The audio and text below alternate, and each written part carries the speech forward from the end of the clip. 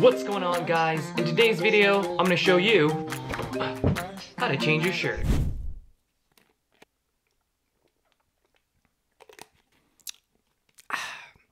Not sponsored by Powerade. Let's get started.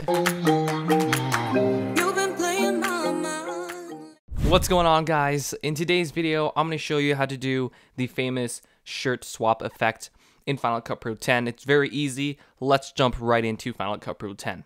All right, guys, so the first thing that you want to go ahead and do is to make sure that you have your footage. So you want to go ahead and, you know, record your effect and you want to make sure you have good lighting. You know, the better the lighting, the better the video in itself is going to look.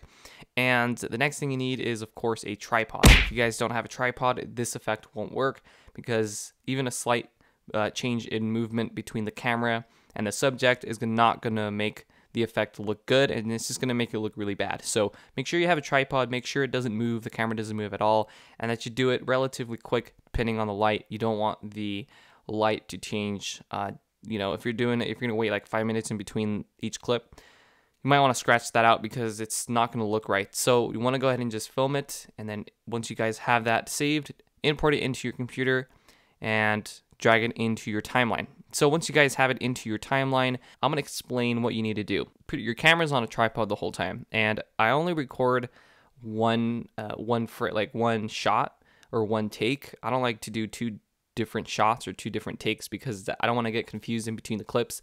So just try to do it all in one uh, shot or one take and try to do it relatively fast, okay? If you're going to be using natural lighting. Then what you're going to go ahead and do is go into the frame, Okay, and I'm to delete this first bit because we don't need that. And I'm here just talking, whatever. And this is where, I know this looks funny, but this is what you want to do to make the effect work. And that is to pretend, kind of like imagine what it's to look like in post, okay? So you're to grab your shirt and you're to pull it like that. I'm to disable the audio because I don't want it to play. You push play and it looks just like that, right? And you kind of make it go like that. And then you're going to go ahead and change your shirt and then you're going to put a new one back on and you want to kind of go back to the same place, the same starting point that you left off of and just do it again, okay? Um, don't worry about where you left off, just do it again, okay? Because we can edit that, in, of course, in post in Final Cut Pro 10. So we're going to do it again and you can see that I didn't get it right the first time, I just didn't like it. So I do it again and you want to be a little bit dramatic when you're doing it just so the effect looks a lot cooler. So then you're just going to do that and then you just say whatever you want to say and you cut the clip.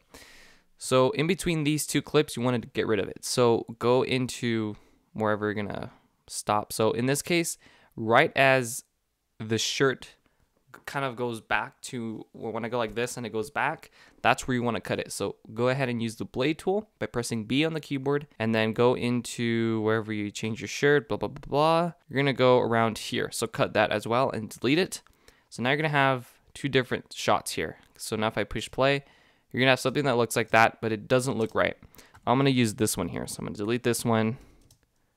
And that one looks a little bit better, but it still doesn't look realistic. So we're gonna go back and adjust this a bit. And right as I let go, there we go.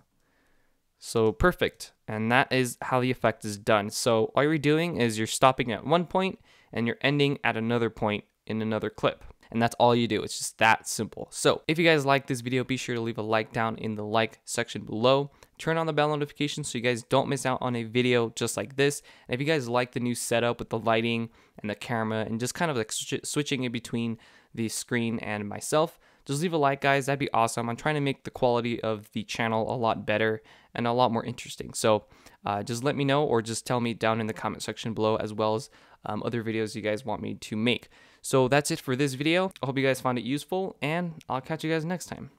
Peace.